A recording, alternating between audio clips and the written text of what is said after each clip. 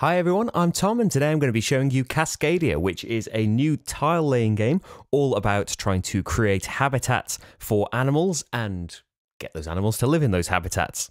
It's named after the Pacific Northwest, so you know, Washington, British Columbia, that kind of area, which is you know sometimes referred to as Cascadia, which I thought was pretty cool. I'd never heard that before. So we are really trying to build the best Cascadia. This is on Kickstarter right now. I'll put a link to the campaign page in the corner and in the description of the video. And if you'd like to check out more, then you can head over there because, you know, it only exists with your support. But, but I'll mention I was paid to make this overview video. So we start out with these starter land tiles, these little three hex triangles. Is it a triangle if they're hexes? Anyway, we start off with these starting pieces of land that will give us a little bit of a guide of what to start with. Then on your turn, you are going to select a combination of a tile and a token. So the tile and the token that's underneath it. And throughout the game, you will score for doing things with your habitats, how you've laid your tiles out.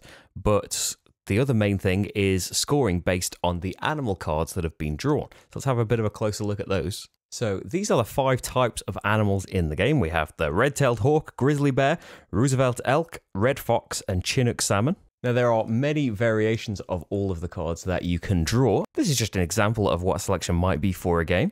So here you would score for hawks that are not adjacent to any other hawk. The more you get, the more points they're worth. Bears, you'll score for every pair of bears that's not adjacent to any other bears. So as soon as you've made a trio, it's out of consideration. The elk, you just want to join up any any contiguous shape of elk. The more that's in that shape, the more points it's worth. The foxes want to be next to as many different animals as possible. The more different they're next to, the more points they're worth. And the salmon want to be on a great big salmon run. Now, this is a bit different to the elk because the elk are happy in any shape whatsoever, but you want a run of salmon. So your runs can't touch, can't be any other salmon in here.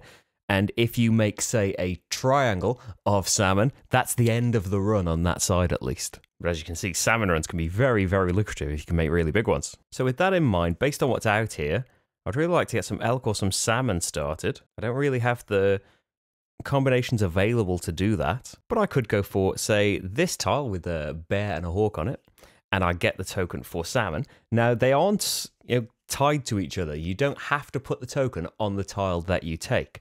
So I could place my tile here, maybe thinking of a, a bear pair, because hawks want to be on their own, don't they? So I could do a hawk and something else. This could maybe be two elk if I want to, but I could get my salmon run started over on this tile. And another important thing that I've done is the other element of scoring. It's for your habitats. You score a point for every tile in your largest group of each habitat. So I have made my forest bigger and I've also made my snowy mountains one tile bigger as well because this had both on them and thanks to the way that my starting tile was, they go together nicely. They would on Marty's as well. Then you would draw a new tile from the stack. The stacks are 20 tiles per player plus 3. And we keep going until we can't fill the display anymore. So for this one, Marty might you know, want to keep his habitats going here by ex- extending his river and wetlands with this here, but he would get a hawk, and his tile here with a hawk on it has got this white arrow on it. This means it's a keystone tile. Now, only a hawk could have gone on here, but for placing the correct animal on a keystone tile, you get yourself a nature token, and that is a guaranteed point at the end of the game if you just hang on to it. If you choose to spend it, you can break the rules of choosing your combo. You can spend a token to take a tile and a token from separate pairings, and then they just get filled up where they lay. So, you know, in the future, he could even go for another hawk with another Hawk token and just replace his nature token back. Or you can spend a nature token to wipe any number of tokens and draw that many from the bag again. So if there's an animal you really want, especially as the game goes towards the end, you can give yourself more chance of getting it. Now, if the tokens have come out and there's already three of a kind out there, when it comes to your turn, you can choose to wipe those matching ones out and draw three new ones. And if there are four matching out there, you have to do it. You haven't got a choice. So this is just as an example. I've done about 10 tiles for each of us. We score based on the animals that we've done. So I've got two hawks off on their own. That would be five points. I've got quite a nice run of elk here. Four elk is 10 points. didn't quite get my bear pair yet. Uh, my salmon run is uh, three salmons. That would be worth seven points. Whereas Marty's got his two bear pairs. That's already 12 points right there. He's got three separate hawks. That's nine points. And he's got uh, a little two salmon run that's worth four points at the moment, but see, ready to put more salmon down. And a fox that's currently next to two different things.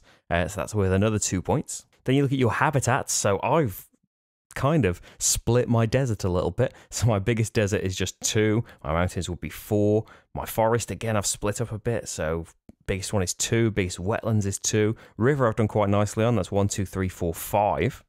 And then Marty, really good with the wetlands. Five on the wetlands, four on the river, four on the forest, and four on the mountains here. Because as well as scoring all of those points, you then score for majorities. Now, in a two player game, it's two points for the most, and the second player doesn't get any points. But in a three or four player game, it would be three points for the person with the most and one point for the second place. So as it stands right now, Marty would beat me on desert three to two. We would tie on mountains and both get the points. He would beat me on forest four to two. I would beat him on river five to four, and he would beat me on wetlands and desert. So I've, I've got a feeling Marty would be doing a lot better on the habitats right now. But this is just an example, probably about halfway through a game. As I mentioned, there were other scorecards. You can have scoring for elk in a straight line. The more you've got, the more points they're worth. You can have different salmon runs where the, the maximum is different. So you, you're only awarded for up to five here, but it's more points for getting up to five. And uh, another smaller salmon run card there. Uh, for every pair of hawks that are in each other's line of sight but not next to each other, every animal that's the same type that's next to a fox so a lot of variations in the way that the different animals score. And in the end, whoever has got the most points has built the best habitat and is the winner. So that's Cascadia. If you would like to know what I thought of Cascadia, then there'll be a link to my first impressions in on the screen very shortly, or it's in the description now. And remember, if you want to check out the campaign page, to see all of the final stuff, then that's linked in the description as well. Thank you very much for watching, everyone. If you'd like to help the channel out, just spread the word and like and stuff. YouTube likes it when you like things. Thank you very much for watching, and I'll see you for the next game. Bye.